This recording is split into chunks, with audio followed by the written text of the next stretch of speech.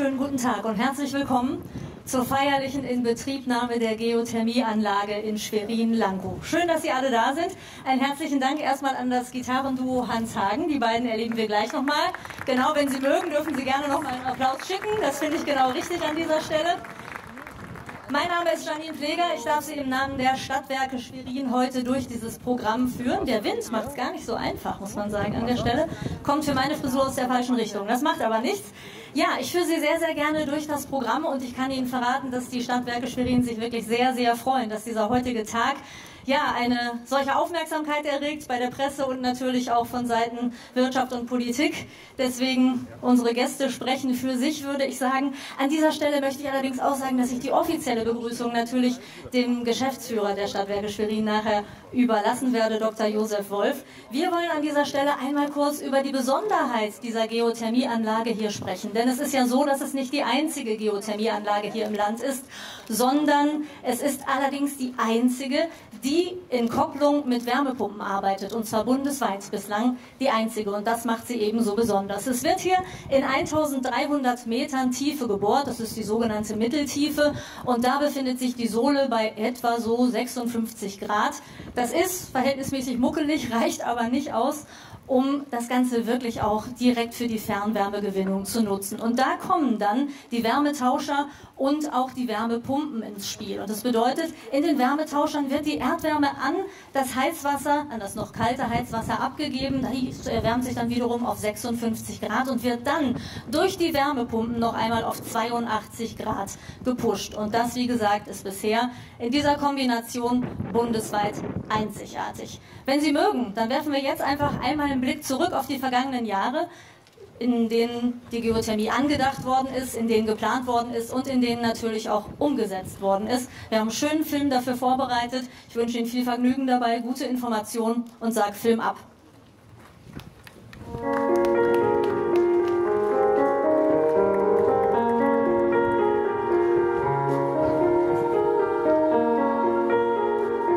Schwerin, Stadt der sieben Seen. Landeshauptstadt Mecklenburg-Vorpommerns.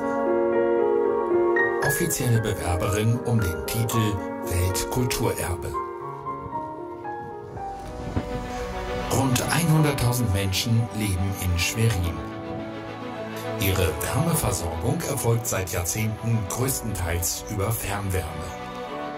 Die Landeshauptstadt Schwerin möchte bis 2035 klimaneutral sein, beschloss das Stadtparlament 2020.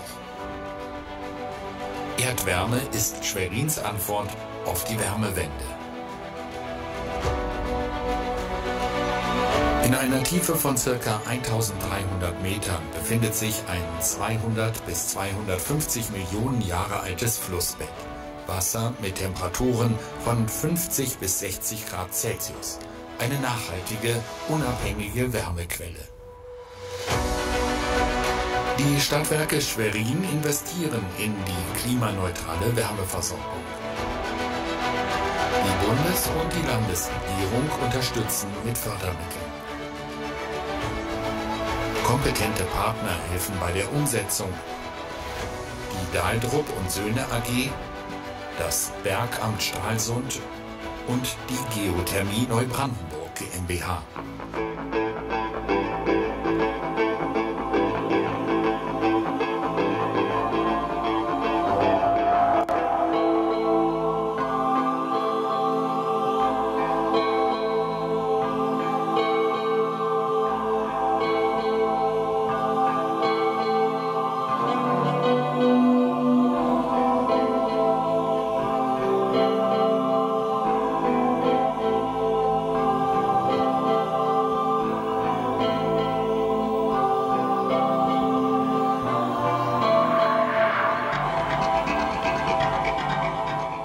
Anlage in Schwerin ist in der Kombination aus mitteltiefer Geothermie und Wärmepumpen deutschlandweit die erste ihrer Art. Das Besondere ist ihre spezielle Anpassung an die regionalen Gegebenheiten. Die Sohle in einer Tiefe von 1300 Metern ist kontinuierlich warm. Allerdings reicht ihre thermische Energie nicht ohne weiteres zur Fernwärmegewinnung aus. Hier kommen vier Hochleistungswärmepumpen ins Spiel. Der vorhandene Temperaturbereich der 56 Grad Celsius warmen Sohle wird optimal genutzt und umweltfreundlich nach oben angepasst. Die Geothermieanlage deckt zukünftig 15 Prozent des Schweriner Fernwärmebedarfs. Zusammen mit der Biogasanlage sind 20 Prozent der Wärmeversorgung aus erneuerbaren Energien. Die Stadtwerke planen bereits heute den Bau weiterer Geothermieanlagen. Viele Kommunen und Versorgungsunternehmen sind an dem Projekt interessiert und informieren sich vor Ort. Die Landeshauptstadt Schwerin setzt damit neue Maßstäbe auf dem Weg zur Klimaneutralität.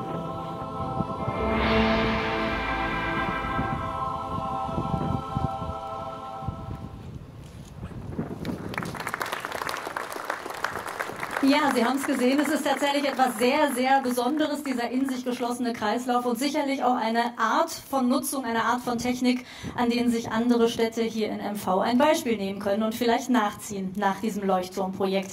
Sie haben schon viel erfahren jetzt über diese Anlage hier, aber einer hat es natürlich auch von Anfang an miterlebt und dem möchte ich gerne jetzt das offizielle Begrüßungswort natürlich übergeben. Begrüßen Sie mit mir den Geschäftsführer der Stadtwerke Schwerin, Dr. Josef Wolf.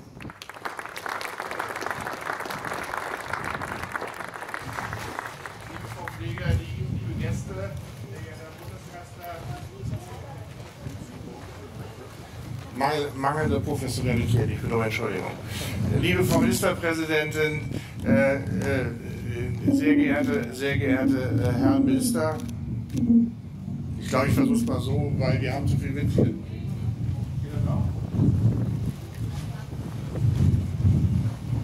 Sehr geehrter Herr Staatssekretär Kelder, äh, sehr geehrter Minister Mayer, sehr geehrter Minister Pegel, äh, sehr geehrter Oberbürgermeister, liebe Frau Staatsministerin Alabadi Radovan. Äh, wir freuen uns alle, dass Sie so zahlreich hier heute erschienen sind und damit nicht nur uns die Übergabe äh, dieses Projektes so ein Stück mit auch in den feierlichen Rahmen geben, sondern ich glaube, es ist auch eine Würdigung für die, die das gemacht haben. Damit rede ich von meinen Mitarbeitern, aber natürlich auch von den Fremdfirmen, von den Experten, die uns heute hier geholfen haben. Und ich glaube, natürlich ist auch ein Stück Interesse daran, dass diese neue Technik, die Kombination von alter Fernwärme mit neuer Wärmepumpentechnik und dem vorhandenen Erdwärmenetz, was es dann auch als Modell, so haben wir es damals, äh, äh, Herr Pegel, diskutiert, als Sie uns die Förderung zugesagt haben, dafür auch nochmal vielen Dank, ist es, glaube ich, auch ein gelungenes Projekt. Und äh, wie gesagt, das kleine Nachtgebiet des, des Stadtwerkers möge es lange und störungsfrei laufen. Ich würde, das Thema Geothermie wird sicherlich heute in verschiedenen, in verschiedenen Aspekten auch noch Rolle spielen, deswegen mache ich es kurz. Ein paar externe, ein paar wichtige Themen haben Sie heute schon gehört.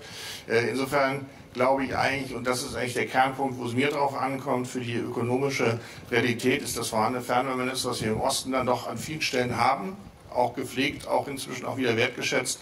Hoffen wir dann, dass wir diese Kombination hinbekommen. Die neue Wärmepumpentechnik ist natürlich notwendig, um die Geothermie, die in Schwerin, das ist ja eben schon gesagt wird, jetzt nicht so sensationell ist, aber die halt vorhanden ist und als Menge unbegrenzt vorhanden ist, kann man das halt mit der entsprechenden Wärmepumpentechnik auf die entsprechenden Werte bringen und hoffen, dass wir damit in der Zukunft auch mit weiteren Anlagen, diese Anlage ist sehr klein, aber es ist ja eben schon erläutert worden, die Tatsache, dass wir sie im Sommer durchlaufen lassen können, die sogenannte Sommerlast führt halt eben dazu, dass diese relativ investive Technik dann auch über das Jahr Jahr dann auch sehr gut genutzt wird und dann auch ökonomisch, denke ich mal, in den Rahmen passt, in den sie passen soll.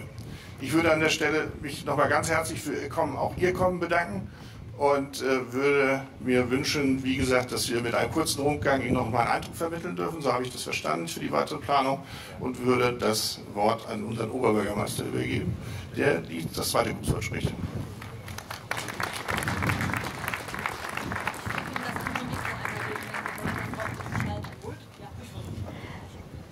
Wir probieren das einfach nochmal. Ist ein bisschen windempfindlich und ansonsten haben wir noch was anderes vorbereitet, damit Sie die Hände frei haben. Nochmal mit dem. Wir probieren das nochmal mit dem Mikro. Nee, das ist nichts. Ich glaube nicht. Wir nehmen einfach das mit Stativ. Wir sind ja für alles gerüstet. Natürlich ist das im Vorfeld getestet worden, ne? aber so eine Windböe lässt sich schlecht testen, wenn sie nicht da ist. Also. So, Wunderbar. Vielen Dank. Auch von mir ein herzliches Willkommen, sehr geehrter Herr Bundeskanzler, lieber Olaf, sehr geehrte äh, Frau Ministerpräsidentin, liebe Manuela, ähm, Frau Staatsministerin Rema Bali-Radovan, Herr Staatssekretär Kellner, liebe Minister und Staatssekretäre der Landesregierung, die Abgeordneten des Deutschen Bundestages und des Landtages. Und ganz besonders freue ich mich, dass Ihre Exzellenz, die Botschafterin Marels dort hier aus Island, herzlich willkommen, hier nach Schwerin gekommen ist. Geothermie, da verbindet man ja auch immer ein bisschen Geysire damit. Ganz so warm ist es bei uns nicht, aber äh, trotzdem energiereich genug, damit wir ähm, unseren Fernwärmebedarf zu 20 Prozent erneuerbar demnächst decken können. Sehr verehrte Damen und Herren, ich bin im letzten Jahr immer wieder gefragt worden, was tun Sie denn eigentlich ganz konkret für den Frieden? Kann man denn auf kommunaler Ebene überhaupt mehr tun, als geflüchtete Menschen aufzunehmen und gut zu integrieren? Und da sage ich, ja, man kann. Und Schwerin tut das. Die heutige Inbetriebnahme dieser Geothermieanlage ist nicht nur ein Meilenstein in der Wärmewende, sondern die nachhaltige Energieversorgung ist gleichzeitig ein ganz konkreter lokaler Beitrag für den Frieden. Die Kämpfe um Ressourcen und Rohstoffe auf der Erde haben eine lange Geschichte. Seit der Antike, zum Beispiel die Kontrolle über die Seidenstraße, wurde im ersten Jahrtausend nach Christus hart umkämpft. Im 16. Jahrhundert gab es Kriege um Edelmetalle. In Südamerika, die Spanier eroberten das Inka-Reich, raubten große Mengen an Gold und Silber. Im 19. Jahrhundert wurden die Kämpfe um Rohstoffe intensiver. Der Wettlauf um die Kolonialisierung Afrikas führte zu zahlreichen Kriegen. Wieder ging es um Rohstoffe, um die Kontrolle über Bodenschätze wie Kupfer, Diamanten und Erdöl. Seit dem 20. Jahrhundert geht es um fossile Energieträger, die die entscheidende Rolle in vielen Kriegen spielen und die noch immer Auslöser für Konflikte sind. Halten wir fest, Kriege sind auch immer Kämpfe um Ressourcen und unser stärkster Beitrag für eine friedliche Welt ist deshalb eine nachhaltige Energiepolitik. Wenn wir unseren Ressourcenhunger nicht weiter auf dem Rücken anderer Länder stillen, sind wir auch nicht mehr abhängig von den Despoten in aller Welt. Deswegen geht Schwerin mit der Fernwärmeversorgung durch Geothermie einen großen Schritt in Richtung einer solchen Unabhängigkeit. Unsere Stadtwerke haben Weitsicht bewiesen. Mit der Nutzung der Geothermie erschließen sie einen großen Schatz tief im Boden Schwerins. Sie sorgen dafür, dass er der Allgemeinheit zugutekommt. Mit der klimafreundlichen Fernwärme ist unsere Stadt künftig weniger abhängig von fossilen Brennstoffen wie Erdgas und Erdöl. So funktioniert kommunale Daseinsvorsorge, die nicht zulasten künftiger Generationen geht. Und so funktioniert ganz konkret kommunale Friedenspolitik. Vielen Dank.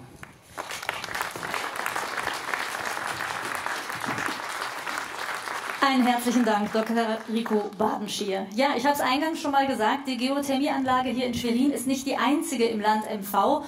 Ähm, tatsächlich hat in den 1980er Jahren Waren Müritz den Anfang gemacht und auch in Neustadt-Glewe gibt es eine Geothermieanlage. Allerdings sind da die Bedingungen einfach andere. Ne? Da ist die Sohle von Grund auf heißer, lässt sich folglich auch anders nutzen und deswegen ist das, was hier heute passiert, nämlich die Inbetriebnahme sicherlich ein Meilenstein, von dem auch das Land profitieren kann. Das Ganze ist natürlich auch umgesetzt worden mit Fördermitteln. Darüber freut sich, äh, freuen sich die Stadtwerke Schwerin natürlich sehr.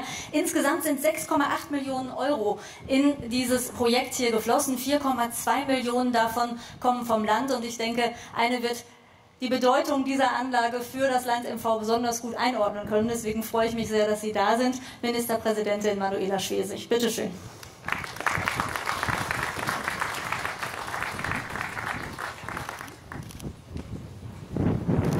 Vielen herzlichen Dank.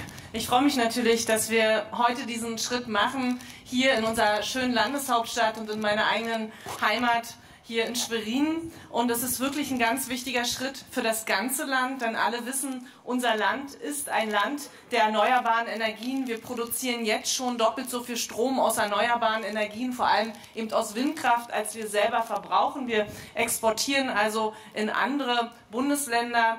Und natürlich stellt sich die ganze Zeit die Frage, wie läuft es aber gerade bei der Wärme? Und deswegen ist es wichtig, dass wir eben auch mit der Wärmewende vorankommen. Und ich freue mich sehr, wir hatten schon die Gelegenheit, lieber parlamentarischer Staatssekretär Kellner, in Greifswald vor kurzem die größte Solarthermieanlage Deutschlands in Betrieb zu nehmen. Da zeigt sich auch, Oberbürgermeister Stadt und kommunale Stadtwerke gehen Hand in Hand und haben die Grundentscheidung schon vor viel längerer Zeit getroffen, als jetzt das alles thematisiert wird. Und so ist es eben auch hier in Schwerin. Und deswegen will ich mich ganz herzlich bedanken bei unserem Oberbürgermeister Rico Barnsch hier, bei Herrn Wolf, Herrn Dr. Wolf, dem Chef der Stadtwerke und bei allen Mitarbeiterinnen und Mitarbeitern und vor allem wirklich Leuten, die das technisch können. Mich beeindruckt es immer wieder, es ist der beste Physikunterricht ever, muss ich wirklich sagen, ähm, was möglich ist. Und das geht nur, weil wir diese klugen äh, Leute haben, die das entwickeln, die das umsetzen. Also der Stadt und den Stadtwerken vielen Dank, dass das möglich ist, denn wir beweisen heute praktisch, dass die Energiewende möglich ist. Wir beweisen praktisch, dass es möglich ist, dass wir uns dauerhaft unabhängig aus erneuerbaren Energien nachhaltig versorgen. Und dieser praktische Schritt ist so wichtig, weil es ja immer noch Leute gibt, die es anzweifeln, ob es möglich ist, weil es immer noch die gibt, die in der Vergangenheit leben. Aber wir wollen die Zukunft sichern, vor allem für unsere Kinder, für den Klimaschutz und für eine Unabhängigkeit. Vielen Dank an die Stadt Schwerin, an die Stadtwerke, lieber Oberbürgermeister, lieber Herr Wolf. Ein wichtiger Schritt für das ganze Land. Und deswegen haben wir das natürlich nicht, deswegen haben wir es auch gefördert. Ich danke ganz herzlich unserem ehemaligen Energieminister Christian Tegel, der heute als Kommunalminister dabei ist, und unserem heutigen Energieminister Reinhard Mayer. Es ist uns sehr wichtig, das voranzubringen. Windkraft, wir bauen jetzt nochmal fünf Offshore-Parks auf See, auf hoher See und äh, gleichzeitig natürlich die Windkraft an Land. Aber es ist so wichtig, dass wir mit Solarthermie, Geothermie einen super Energiemix hinbekommen. Und äh, hier ist das natürlich auch ein großes Anliegen der Bundesregierung. Und deswegen freue ich mich sehr, lieber Olaf Scholz, sehr geehrter Bundeskanzler, dass Sie, dass du heute hier dabei bist. Das ist Rückenwind im wahrsten Sinne des Wortes hier für die Menschen, die auch diese Grundsteine gelegt haben, schon vor längeren Jahren, wo all das noch nicht so ein Thema war. Und wir sind uns einig, Bundesregierung und Landesregierung, wir müssen beim Ausbau der erneuerbaren Energien bei der Versorgung vorankommen. Und was ein besonderer Punkt hier für uns im Land ist, und ich glaube, das ist eine Besonderheit in Ostdeutschland, die ich heute erwähnen möchte. Bei uns ist es so, dass fast immer die Hälfte von Fernwärme lebt. Allein in Mecklenburg-Vorpommern sind wir 1,6 Millionen Einwohner und 700.000 davon sind an Fernwärme angeschlossen. Und zurzeit wird ja sehr auch das Thema eben Wärme in, äh, im Privatbereich diskutiert. Und da möchte ich gerne den Scheinwerfer heute drauflegen. Für uns ist es sehr interessant, bei der Fernwärme voranzukommen mit dem Switch, weil da sind eben 700.000 Bürgerinnen und Bürger angeschlossen, vor allem natürlich auch viele Mieterinnen und Mieter. Und wenn uns das gelingt, dann erreichen wir viele und gleichzeitig einen großen Beitrag für den Klimaschutz. Und ich will mich ganz herzlich unterstützen, auch bedanken, auch für die Unterstützung der Bundesregierung. Wir sind heute ja noch äh, bei weiteren Terminen im Land unterwegs. Und lieber Bundeskanzler, für uns ist es völlig klar, dass wir, wenn wir jetzt aus Atom aussteigen und auch aus Kohle perspektivisch, und da führt kein Weg dran vorbei, in dieser Frage schneller vorankommen müssen, um unabhängig zu sein, um unseren Beitrag für Klimaschutz zu leisten. Und dennoch war die große Sorge, wie schaffen wir es im Übergang? Und die Sorge war im letzten Jahr groß im ganzen Land, auch hier in Schwerin, bei den Bürgerinnen und Bürgern, bei der Wirtschaft, bei den sozialen Einrichtungen. Wie soll das gehen? Wir hatten uns darauf verlassen, dass wir für den Übergang stärker Gas nutzen können aus Russland. Das ist nicht mehr möglich mit dem russischen Angriffskrieg.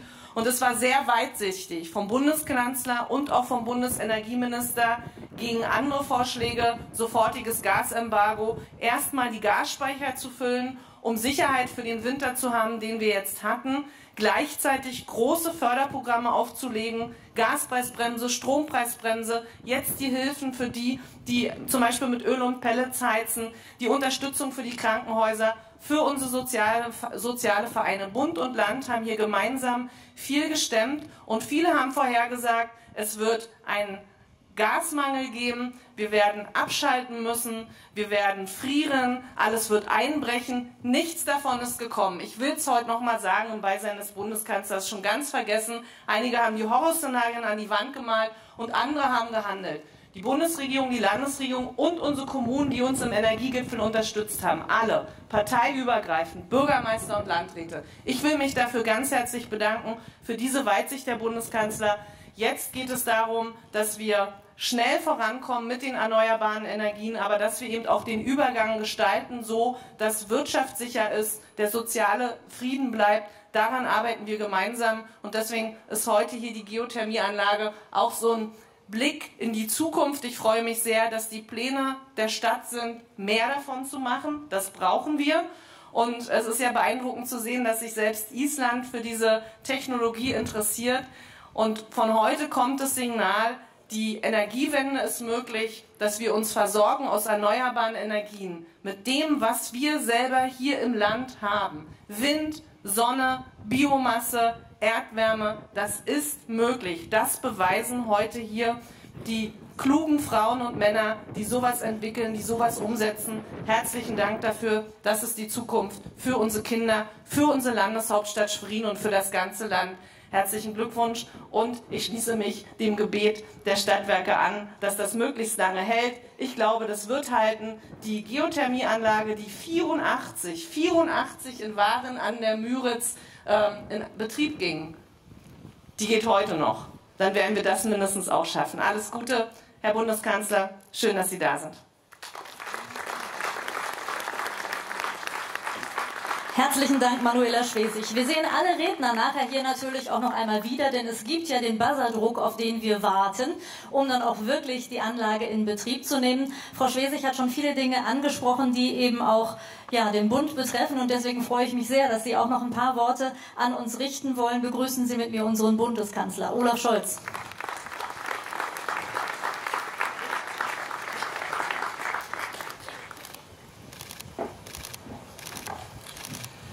Sehr geehrte Frau Ministerpräsidentin, liebe Manuela, sehr geehrte Frau Botschafterin, sehr geehrter Herr Oberbürgermeister Badenschier, sehr geehrter Dr. Wolf, meine Damen und Herren. Der römische Gott Vulkan hatte, wie die meisten seiner Kolleginnen und Kollegen im Olymp, gleich mehrere Funktionen. Er galt als der Gott des Feuers, aber auch als Gott der Erfinder und Handwerker. Dementsprechend wird er in der Dichtung meist so beschrieben, wie man sich einen Schmied eben vorstellt. Erfinderisch, handwerklich geschickt und ein bisschen wortkarg. Ich finde, mit diesen Charaktereigenschaften passt Vulkan eigentlich ganz gut in diese Gegend hier im Norden unseres Landes. Das darf ich, der selber Norddeutscher ist, vielleicht sagen. Vulkan passt aber auch deswegen so gut zu unserem heutigen Anlass, weil das, was wir hier vor uns sehen, eine perfekte Kombination aus Erfindung, Wärme und Handwerk ist. Diese Anlage ist nicht die erste Tiefengeothermieanlage, wir haben es schon gehört, sie ist auch nicht die erste in der Gegend. Aber durch den Einsatz moderner Hochleistungswärmepumpen, durch die Kombination zweier erneuerbarer Technologien ist sie dennoch einzigartig in Deutschland. Der Clou von Schwerin hat das die Taz genannt. Dieser Clou ist der Verdienst von sehr vielen, die an diesem Projekt gearbeitet haben, von Planern, von Behörden und Unternehmen und ihren Fachkräften und nicht zuletzt von vielen Mitarbeiterinnen und Mitarbeitern der Stadtwerke Schwerin. Vielen Dank dafür.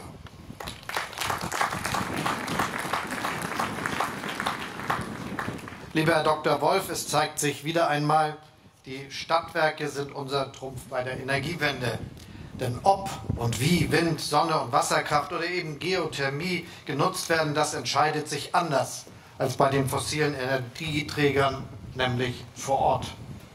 Und dort sind wir mit Hunderten von Stadtwerken im ganzen Land hervorragend aufgestellt. Ihr Netz für Ladesäulen entscheidet darüber, ob sich jemand ein Elektroauto kauft. Ihre Wärmenetze sorgen für eine verlässliche, bezahlbare und in Zukunft immer umweltfreundlichere Versorgung. Sie wissen am besten, wo neue Windkraft- und Solarparks entstehen. Deshalb sorgen wir als Bundesregierung dafür, dass die Städte und Gemeinden künftig leichter als bisher Flächen für Erneuerbare ausweisen können, was Unternehmen hilft, Neuansiedlungen begünstigt und für zukunftssichere Arbeitsplätze sorgt. Und auch das Potenzial der Geothermie werden wir konsequent erschließen. Dabei hilft eine im vergangenen Jahr gestartete Initiative des Bundes, mit der Explorationsprojekte gefördert werden, Risiken abgefedert werden sollen und untersucht werden soll, wo Geothermie besonders lohnt. Das übrigens gilt für viel mehr Räume unseres Landes, als die allermeisten denken. Und die Geothermie wird eine viel bedeutendere Rolle spielen, als das in der öffentlichen Debatte bisher der Fall ist, dazu anzuregen, das voranzubringen, ist auch ein guter Grund für die heutige Zusammenkunft. Der Ausflug in die Tiefe der Erde ist ein Projekt, das in die Zukunft weist. Anders als Wind oder Sonne steht Geothermie rund um die Uhr zur Verfügung, im Sommer wie im Winter an 365 Tagen im Jahr. Und deshalb machen uns Projekte wie dieses hier nicht nur unabhängiger von den volatilen Gaspreisen, von der geopolitischen Großlage und von Marktschwankungen bei der fossilen Energie. Sie können die Grundlast auch an sonnen- und windarmen Tagen sichern und sind so eine perfekte Ergänzung zur Windenergie, bei der Mecklenburg-Vorpommern heute schon ganz vorne mit dabei ist. Manuela Schwesig hat daraus bereits hingewiesen. Wir sind wirklich stolz auf das, was dieses Land geleistet hat. Wenn ganz Deutschland schon so weit wäre, hätten wir wirklich billige Strompreise im ganzen Land. Und das müssen wir eben erreichen. Das Mecklenburg-Vorpommern dass Mecklenburg-Vorpommern inzwischen ein Energieexportland ist, hat ganz maßgeblich mit der Energiewende zu tun. Weg von Kohle und Gas hin zu den erneuerbaren Energien. Die Folgen dieser Entwicklung reichen weit über den Energiesektor hinaus. Wenn es um große Neuansiedlungen geht, wie bei Tesla in Brandenburg etwa oder beim Wasserstoffhersteller Apex hier in Mecklenburg-Vorpommern, dann lautet die Frage der Investoren heute ganz oft, gibt es dort eine sichere, bezahlbare Versorgung mit erneuerbarer Energie? Und da haben sich der Norden und Osten Deutschlands inzwischen einen richtigen Standortvorteil erarbeitet. Die Bundesregierung unterstützt indem wir unnötige Bürokratie aus dem Weg räumen, Ausschreibungsvolumina hochsetzen und Planungsverfahren deutlich beschleunigen. Und nicht nur hier in Schwerin, sondern überall im Land zeigt sich inzwischen, es geht. Neue Batteriefabriken entstehen. Milliardeninvestitionen fließen in Zukunftstechnologien. Neue Netze und Anlagen. Deutschland nimmt Fahrt auf. Und auch dazu trägt dieses Projekt hier bei. Acht Jahre haben Sie in die Entwicklung investiert. Sie, lieber Herr Dr. Wolf, haben gesagt, dass Sie dabei so viel gelernt haben, dass Sie bei den nächsten Projekten, die schon in Planung sind, nur noch halb so lange brauchen werden. Auch das ist ein gutes Beispiel für ein neues Deutschlandtempo, für neuen Schwung in unserem Land. Und deshalb, ja, es lohnt sich, jeden Stein umzudrehen und die Blätter festzuhalten beziehungsweise sich durch ganz viele Erd- und Gesteinsschichten zu bohren, so wie hier in Schwerin. Und zwar auch dann, wenn die Bedingungen für Geothermie nicht so offensichtlich sind wie in Ihrer Heimat Island, liebe Frau Botschafterin, wo Vulkane und Geysire die Landschaft prägen. Hier in Schwerin hat man sich nicht mit dem Offensichtlichen zufrieden gegeben, sondern wortwörtlich tiefer gebohrt und mit technologischem Geschick, Erfindungsreichtum und Unternehmergeist ideale Bedingungen für die Geothermie hergestellt. Dem Gott Vulkan hätte das vermutlich gefallen. Insofern ist die Botschaft des heutigen Tages, geht nicht, gibt's nicht. Herzlichen Glückwunsch zu Ihrem Pioniergeist und vielen Dank, dass Sie uns zeigen, was alles geht in unserem Land. Schönen Dank. Einen herzlichen Dank an Sie, Olaf Scholz. Vielen Dank. Wenn Sie Lust haben, bleiben Sie vielleicht direkt mit mir schon einmal hier oben, denn wir bauen jetzt um für diesen Buzzerdruck, über den wir vorhin schon gesprochen haben. Vielleicht treten wir ganz kurz einen Moment in den Hintergrund und können auch alle anderen Redner an dieser Stelle schon mal auf der Bühne begrüßen. Darum sehr gerne Ministerpräsidentin Schwesig, einmal zu mir Rico Badenschier, den Chef der Stadtwerke Dr. Josef Wolf und der parlamentarische Staatssekretär Michael Kellner aus dem Bundeswirtschafts- und Klimaministerium. Schön, dass Sie da sind. Sie dürfen an dieser Stelle auch nicht fehlen. Jetzt haben wir uns in Sachen Aufstellung noch ein bisschen was überlegt. Ich rücke hier mal so ein bisschen an die Seite und mache die Aufstellung einmal ohne Mikrofon und ich verspreche, danach gehe ich auch aus dem Bild und dann kann es losgehen. Also.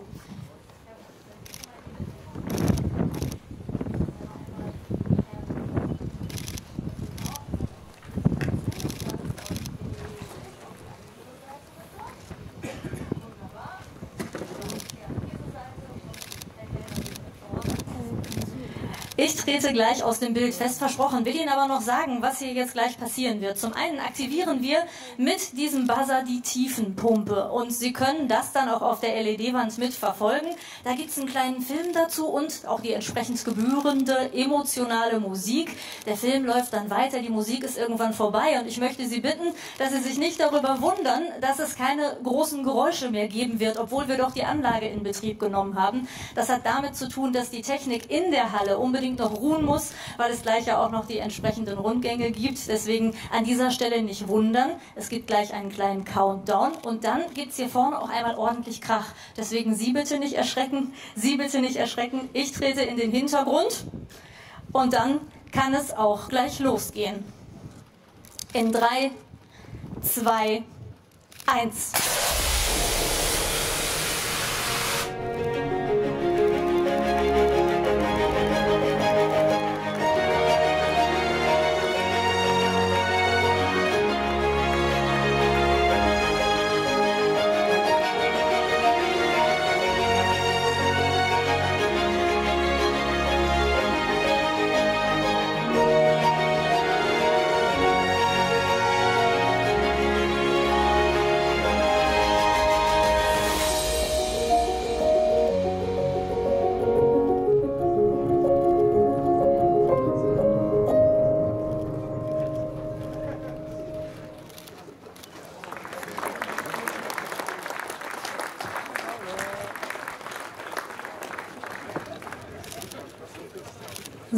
wenn die Presse mir ein kurzes Zeichen gibt, dass auch alles soweit für Sie in Ordnung ist, dass Sie alles haben, was Sie brauchen, dann darf ich mich auch wieder auf die Bühne bewegen. Sage Ihnen herzlichen Dank für dieses Mitwirken, wünsche Ihnen viel, viel Spaß beim entsprechenden Rundgang an dieser Stelle. Der startet hier direkt um die Ecke. Hinter dem Soletank bekommen Sie Ihre persönliche Schutzausrüstung.